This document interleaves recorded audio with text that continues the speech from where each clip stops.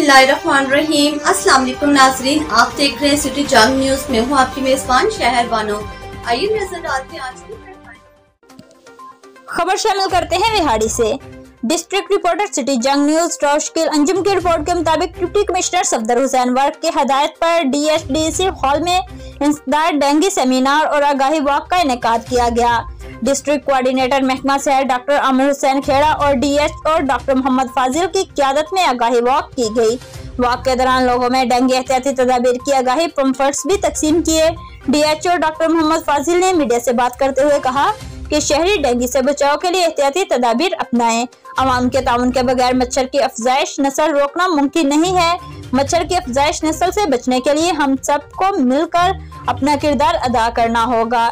मच्छर के अफजाइश नस्ल की रोकथाम के लिए किसी जगह पर पानी खड़ा ना होने दें।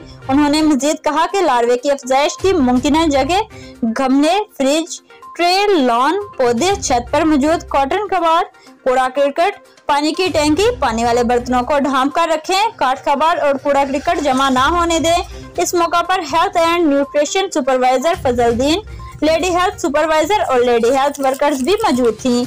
Nutrition supervisor Fazaluddin, account supervisor महकमा हेल्थ, अरशद कुरैशी, गुलाम फरीद साबरी और Mazhar Abbas, lady health supervisor Azra Yasmin, Tahira Alvi, Razia Sultana और दीगर भी मौजूद थे।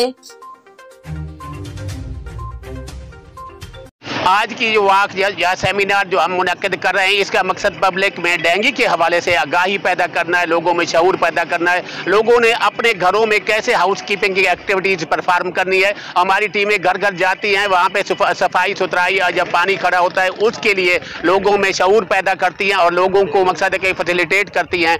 और ये महकमा या डी साहब की डायरेक्शन पर ये वाक कंडक्ट की जा रही है। इन हम इस तरह अगर अपने माशरे में या कम्युनिटी में अगर हम इसको शूर पैदा करने में कामयाब हो गए तो इन इस डेंगू की भी वबा से हम महफूज हो जाएँगे।